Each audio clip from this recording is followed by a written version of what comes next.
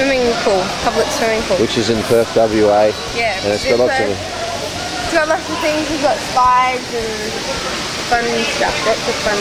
Yes, it is the slides over there. Which you had a blast going down head first until we found out that we couldn't. Now let's do a bit of a quick a quick circle around. And out the back there there's a couple of other pools as well. Come and have a look at.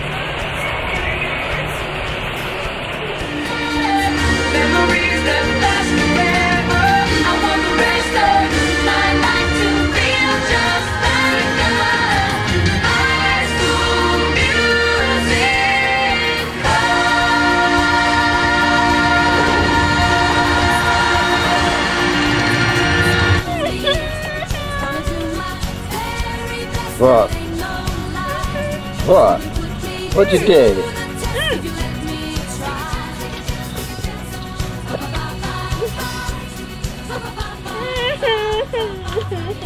And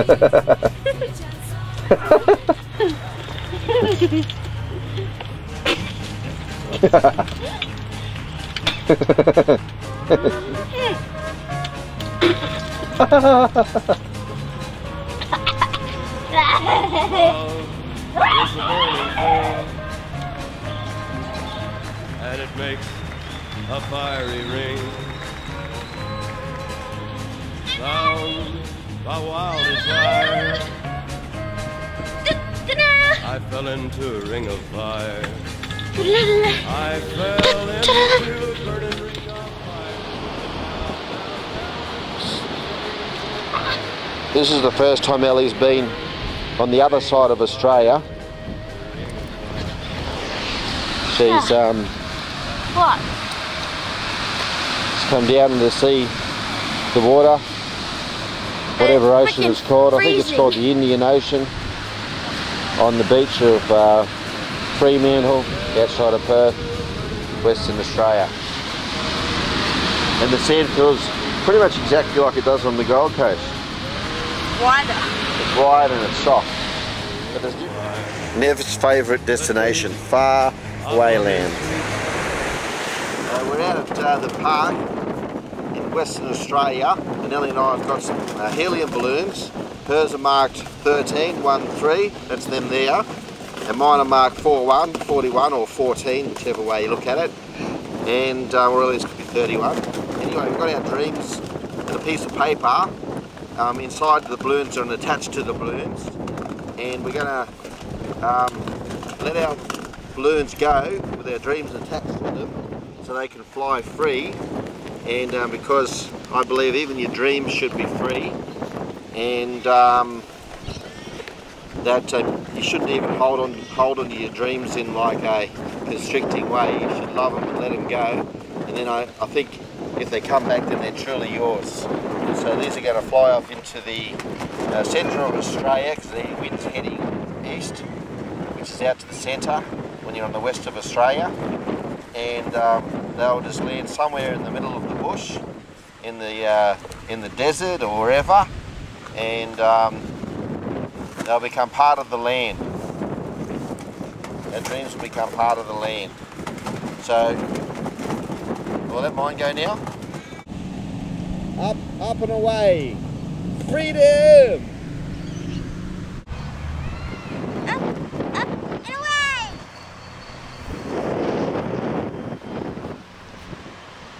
Go, baby, go!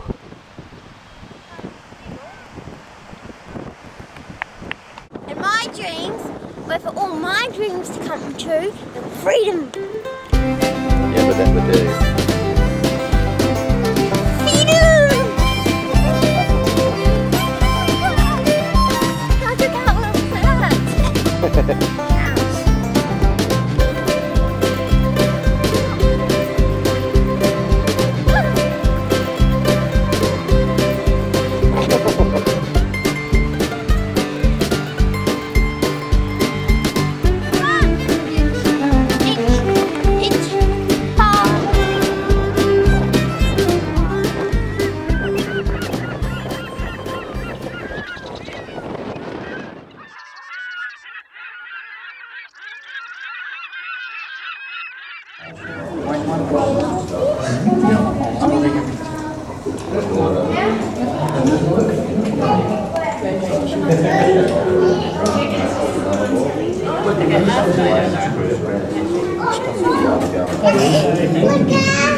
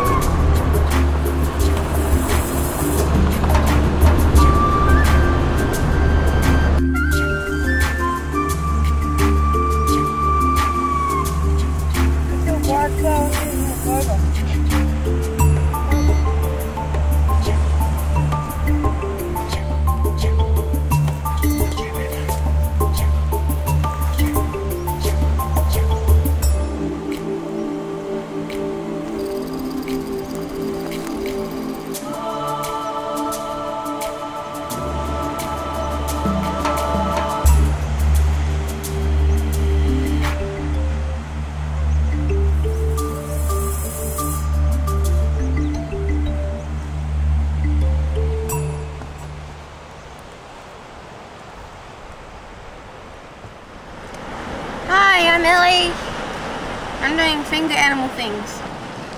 This is the rooster. This is a crocodile. Um, this is a fox. Um, so yeah, snake.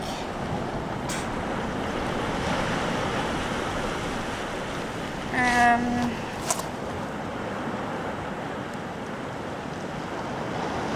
can't remember how to do it. Yeah, this this is a shark.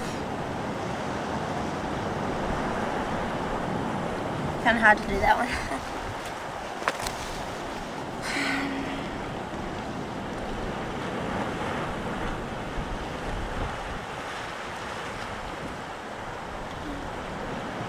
Shark.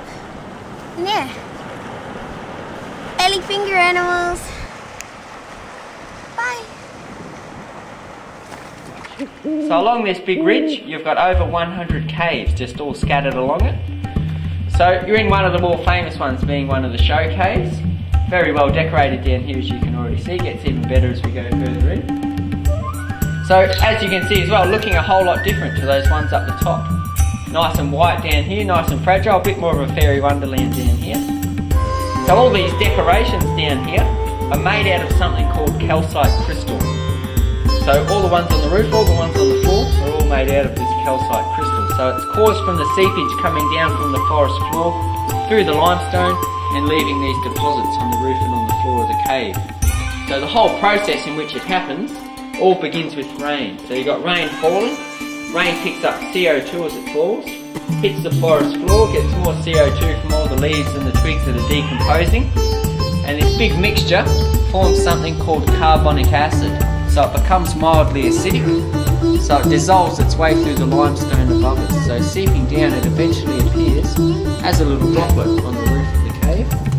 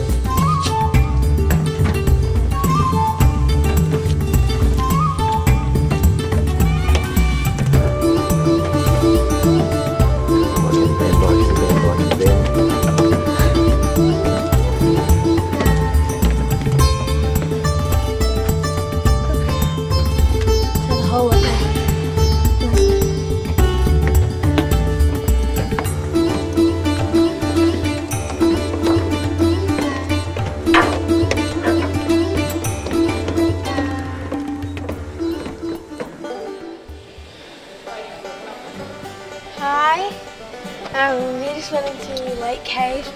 It was pretty creepy, creepy and dark in there.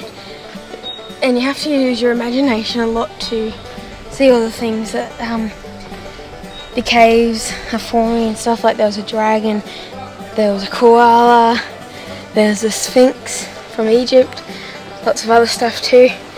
Um, they had a couple of um, yabbies that some people had introduced there to eat the algae, algae from having the lights in the cave. And they were bluey grey colour and they're pretty cool. Cool. Cruel. Anyway, um, yeah, so pretty creepy. Yes, this is our first cave experience at the um, Lake Cave in uh, Western Australia near um, Margaret River. And um, yeah, it was pretty good. Nice and cool, 17 degrees Celsius. And the whole floor of the cave covered in water. So you see the reflections of the stalactites and the water. There. So yeah, it's all pretty groovy, baby.